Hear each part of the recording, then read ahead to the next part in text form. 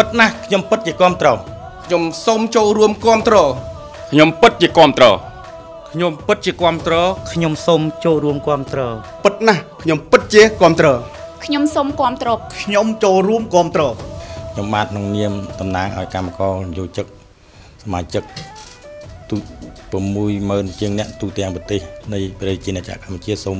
គ្រប់គ្រងយ៉ាងពេញទំហឹងចំពោះបេក្ខភាពនាយករដ្ឋមន្ត្រីថ្មីរបស់អេដាមដិតហ៊ុនម៉ាណែតបាទ ចំពោះរូបខ្ញុំផ្ទាល់គឺខ្ញុំមានជំនឿជឿជាក់ទៅលើអេដាមដិតហ៊ុនម៉ាណែតថាលោកនឹងមានសមត្ថភាពដើម្បីនឹងការដឹកនាំប្រទេសជាតិបន្តពីសម្ដេចអគ្គមហាសាស្ត្រតេជោបន្តទៀតដើម្បីឲ្យប្រទេសកាន់តែមានការអភិវឌ្ឍនិងរីកចម្រើន ជាងនេះបន្តទៅទៀតចំពោះការបោះឆ្នោតនៅអាណត្តិទី7នេះចំពោះខ្ញុំបាទក៏ដូចជាសមាជិកសមាជិការបស់សហភាពស្មារតីយុវជនអភិវឌ្ឍការងារកម្ពុជា គឺគ្រប់គ្រងការបោះឆ្នោត នេះដោយសារបោះឆ្នោតនេះគ្មានការបង្ខិតបង្ខំគឺឬគម្រាមកំហែងពីសំណាក់ឬក៏ពីគណៈបកណានេះដោយប្រទេសយើងប្រកាន់លទ្ធិប្រជាធិបតេយ្យអញ្ចឹងបងប្អូនប្រជាពលរដ្ឋយើងបានចូលរួមយ៉ាងសស្រាក់សស្រាមដើម្បីទៅបំពេញភារកិច្ចក្នុងនាមជាទូនាទីជាប្រជាពលរដ្ឋបំពេញភារកិច្ចដើម្បីបោះឆ្នោតជូនគណៈបកនយោបាយដែលមានទាំង18គណៈបក ចំពោះបេក្ខភាពរបស់ឯកឧត្តមបណ្ឌិតហ៊ុនម៉ាណែតជានាយករដ្ឋមន្ត្រីនៃប្រជាជាតិកម្ពុជាបន្តវេនខ្ញុំមានការគ្រប់គ្រងយ៉ាងពេញទំហឹងចំពោះឯកឧត្តមបាទចំពោះឯកឧត្តមបណ្ឌិតហ៊ុនម៉ាណែតគាត់ជាបេក្ខភាពនាយករដ្ឋមន្ត្រីក្នុងអាណត្តិក្រោយនេះខ្ញុំមានការគ្រប់គ្រងយ៉ាងពេញទំហឹងដោយមើលឃើញថាឯកឧត្តមបានសិក្សានៅសាលាជាន់ខ្ពស់នៅក្រៅប្រទេសហើយឯកឧត្តមមានគុណធម៌ហើយជាកូននាយករដ្ឋមន្ត្រីពិតជាស័ក្តិសមណាស់បាទចំពោះលទ្ធផលនៃការបោះឆ្នោត កន្លងទៅថ្មីថ្មីនេះខ្ញុំមានការខ្ញុំមានការគ្រប់គ្រងចំពោះលទ្ធផលនេះដោយសារតែការបោះឆ្នោតនេះមានការចូលរួមពីខាងភ្ញៀវជាតិនិងអន្តរជាតិចុះមកអង្កេតការនៅកន្លែងនេះផ្ទាល់តែម្ដងបាទបាទសម្រាប់ខ្ញុំផ្ទាល់ខ្ញុំពិតជាមានការគ្រប់គ្រងយ៉ាងពេញទំហឹងចំពោះអាដាមបណ្ឌិតហ៊ុនម៉ាណែតដែលបានសម្ដេចអគ្គមហាសេនាបតីតេជោហ៊ុនសែនតែងតាំងជានាយករដ្ឋមន្ត្រីថ្មីនៃអាណត្តិទី7នេះបាទ ខ្ញុំមើលឃើញយ៉ាងច្បាស់ចំពោះទី1ខ្ញុំចង់និយាយថាគាត់ជាមនុស្សម្នាក់ដែលមានកម្រិតវប្បធម៌ខ្ពស់មានសិលធម៌មានគុណធម៌និងមានភាពទំនួលខុសត្រូវចំពោះប្រជាពលរដ្ឋបាទសម្រាប់លទ្ធផលការបោះឆ្នោតនៃអាណត្តិទី7នេះខ្ញុំយល់ឃើញថាជាការបោះឆ្នោតមួយប្រកបដោយលទ្ធិប្រជាធិបតេយ្យពេញលេញយ៉ាងពិតប្រាកដ សំអាងទៅលើទី1ប្រទេសយើងគឺមានអ្នកចូលរួមសង្កេតការទាំងភ្ញៀវជាតិនិងអន្តរជាតិយ៉ាងច្រើនកកកចូលមកដើម្បី សង្កេតការនៅពេលបោះឆ្នោតនេះខ្ញុំពិតជាសប្បាយរីករាយណាស់ដែលទទួលបានព័ត៌មានពីសម្ដេចអគ្គមហាសេនាបតីដេជោដែលលោកបានជ្រើសរើសបេក្ខភាពឯកឧត្តមបណ្ឌិតធ្វើជានាយករដ្ឋមន្ត្រីនៅអាណត្តិទី7នេះខ្ញុំ ពិតជាគ្រប់គ្រងយ៉ាងពេញទំហឹងដោយសារមើលឃើញថាសមត្ថភាពរបស់អាដាមបណ្ឌិតលោកពិតជាបានរៀនខ្ពង់ខ្ពស់ទី1ទី2នៅពេលដែលលោកចុះសកម្មភាពការងារផ្សេងផ្សេងនៅតាមបណ្ដាខេត្តឬក៏ជួបជាមួយនឹងលោកយាយលោកតាយុវជនគាត់តែងតែផ្ដល់ស្នាមញញឹមឲ្យពួកគាត់បានសប្បាយរីករាយគ្រប់កលៈទេសៈ ខ្ញុំយល់ឃើញថាលទ្ធផលនេះគឺពិតជាស័ក្តិសមហើយដោយសារអីប្រទេសយើងគឺប្រកាន់លទ្ធិប្រជាធិបតេយ្យហើយចំពោះការបោះឆ្នោតទៀតសោតយើងមើលឃើញថាប្រជាពលរដ្ឋដែលមានឈ្មោះក្នុងបញ្ជីគាត់ទៅបោះឆ្នោតដោយមិនមានការបង្ខិតបង្ខំទេហើយមួយវិញទៀតអឺ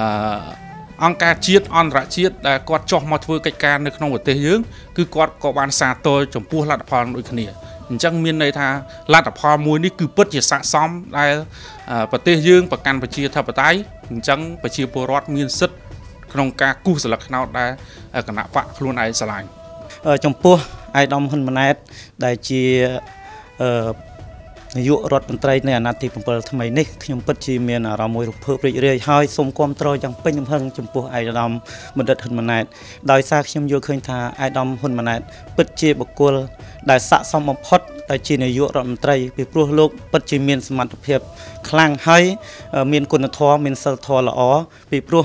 ធ្វើពេលដែលលោកមានកម្មវិធីនៅទីកន្លែងណាមួយ តែងតែធ្វើឲ្យមនុស្សនៅជុំវិញខ្លួនគឺមានភាពសប្បាយរីករាយឈ្មោះឯកឧត្តមជាខ្លាំងបាទអឺចំពោះការលទ្ធផលបោះឆ្នោតនៅអាណត្តិទី7នេះខ្ញុំយល់ឃើញថាពិតជាមានបានចង់និយាយថាពិតជាមានដំណើរការដោយរលូនដោយមានគេហៅ មានលទ្ធិប្រជាធិបតេយ្យសេរីពហុបកពិតប្រកបមែនពីព្រោះខ្ញុំបាទបានទៅចូលរួមបោះឆ្នោតផ្ទាល់ខ្ញុំឃើញថាប្រជាពលរដ្ឋដែលទៅបោះឆ្នោតគឺមានភាពអំណរសាទរហើយមានទឹកចិត្តសប្បាយរីករាយដោយពួកខ្ញុំគិតថា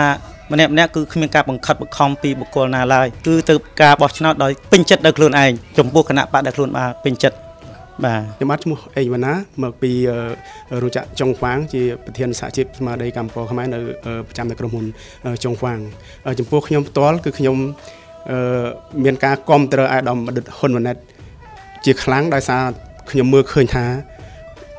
គាត់មានសមត្ថភាពពិតប្រាកដ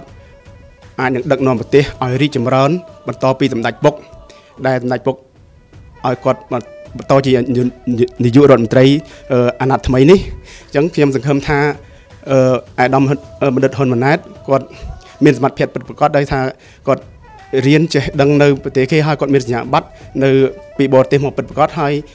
អឺជាកិច្ចខ្ញុំបានមើលឃើញផ្ទាល់ពីការគាត់ចុះទៅឃោសនាឬជួបប្រជាពលរដ្ឋអ៊ំមីងមាយាយតានិងបងប្អូនកម្មករកម្មនីកម្មករកម្មការិនី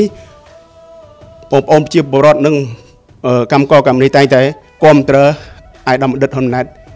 បិទជាស័កសមជានាយករដ្ឋមន្ត្រីពិតប្រាកដមែនបាទចំពោះខ្ញុំតខ្ញុំយល់ឃើញថាពិតជាមានលទ្ធិប្រជាធិបតេយ្យពិតប្រាកដនៅក្នុងប្រទេសកម្ពុជារបស់យើងខ្ញុំមែនដោយសារគ្រប់គណៈបកទាំង18នេះអត់មានការបង្ខិតបង្ខំពីគណៈបកណាទៅដល់ប្រជាពលរដ្ឋទៅដល់ប្រជាពលរដ្ឋទូទាំងប្រទេសថាត្រូវបង្ខិតបង្ខំមកបោះឆ្នោតឬមិនបោះឆ្នោតគឺ ប្រជាពលរដ្ឋគាត់មកទាំងអស់គ្នាភាគរឹតយើងមើលបានមើលឃើញស្រាប់ហើយនៅបរទេសมันបានដល់ប្រទេសកម្ពុជាផងប្រទេសខ្លះមានតែ70%ទេដែលចេញមកបោះឆ្នោតក្នុងអាណត្តិនីមួយៗតែនៅខ្ញុំមើលឃើញថានៅក្នុងប្រទេសកម្ពុជាយើង មានដល់80%ជាង ដែលប្រជាពលរដ្ឋចេញមកបោះឆ្នោតកុំត្រូវគណៈបកដែលខ្លួនស្រឡាញ់រៀងរៀងខ្លួននាងខ្ញុំឈ្មោះភួងច័ន្ទមនីរតចាបច្ចុប្បន្ននាងខ្ញុំគឺជាប្រធានសហជីពនៅរោងចក្រខ្វាន់តុំអាព្រីលចាហើយ ខ្ញុំគឺមានការអរគុណនៅសំណួររបស់បងគឺខ្ញុំគ្រប់គ្រងយ៉ាងពេញទំហឹងសម្រាប់ឯកឧត្តមហ៊ុនម៉ាណែតដែលចូលឈ្មោះជានាយករដ្ឋមន្ត្រីនៃប្រជាជាតិកម្ពុជាយើងចាសម្រាប់នាងខ្ញុំផងដែរគឺយើងមើលឃើញថាឯកឧត្តមហ៊ុនម៉ាណែតគឺគាត់មានសមត្ថភាពពិតប្រាកដមានថាគាត់អាចមានតែគាត់ទៅរៀននៅក្រៅប្រទេស ចាគាត់មានការសិក្សាខ្ពស់ហើយអ្វីដែលជាពិសេសនោះទៀតគឺគាត់ ថាគាត់ជាកូននាយករដ្ឋមន្ត្រីផ្ទាល់ចាហើយគាត់គឺជាកូនប្រុសច្បងរបស់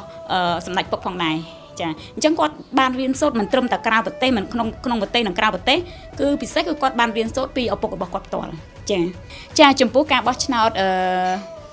អាណត្តិទី7នេះខ្ញុំឃើញថាការបោះឆ្នោតគឺដំណើរការទៅយ៉ាងរលូនពិសេសគឺពុកម៉ែបងប្អូនប្រជាពលរដ្ឋយើងគឺគាត់ទៅចូលរួមបោះឆ្នោត ហើយប្រកបដោយតម្លាភាពមានភាពយុត្តិធម៌ត្រឹមត្រូវចាហើយយើងមើលឃើញទៀតថាមានអ្នកសង្កេតការទាំងក្នុងនិងក្រៅប្រទេសមកចូលរួមកកកចាមិនមែនតែក្នុងប្រទេសយើងទេខ្ញុំពិតជាសប្បាយចិត្តណាស់ដែលដែលមានបេក្ខជននាយករដ្ឋមន្ត្រីឯកឧត្តមហ៊ុនម៉ាណែតគាត់មានសមត្ថភាពខ្ពស់សម្រាប់ការដឹកនាំអឺប្រទេសណាមួយគាត់ជាកូននាយករដ្ឋមន្ត្រីដែលដឹកប្រទេសអឺដឹកនាំប្រទេសដែលថា 40ឆ្នាំជាងហើយអញ្ចឹងឪពុកមានបទពិសោធន៍គ្រប់គ្រាន់ហើយកូនក៏មានបទពិសោធន៍គ្រប់គ្រាន់ព្រោះគាត់ជាអ្នករៀនបាទមានសញ្ញាបត្រគ្រប់គ្រាន់ពីបរទេសបាទការការមុនបោះឆ្នោតខ្ញុំឃើញគណៈបកដែលមានទស្សនៈប្រឆាំងណាគឺគាត់ប្រកាសបកោកថាមិនអោយប្រជាពលរដ្ឋមិនកុំទៅបោះឆ្នោតក៏ប៉ុន្តែគាត់នៅក្រៅប្រទេសទេក៏តែប្រជាពលរដ្ឋបច្ចុប្បន្ននេះគាត់ អត់ជឿការឃោសនាពីបរទេសទេ គឺគាត់មើលភាពជាក់ស្ដែងនៃការដឹកនាំដល់ប៉ិនប្រសពរបស់សម្ដេចតេជោហ៊ុនសែនធ្វើឲ្យគាត់មានការជឿជាក់ហើយក៏គាត់នាំគ្នាទៅបោះឆ្នោតភ្លុកទឹកភ្លុកដីហើយមានការញញឹមហើយមានមានអង្គការអន្តរជាតិមកសង្កេតការគ្រប់កន្លែងទាំងអស់បាទ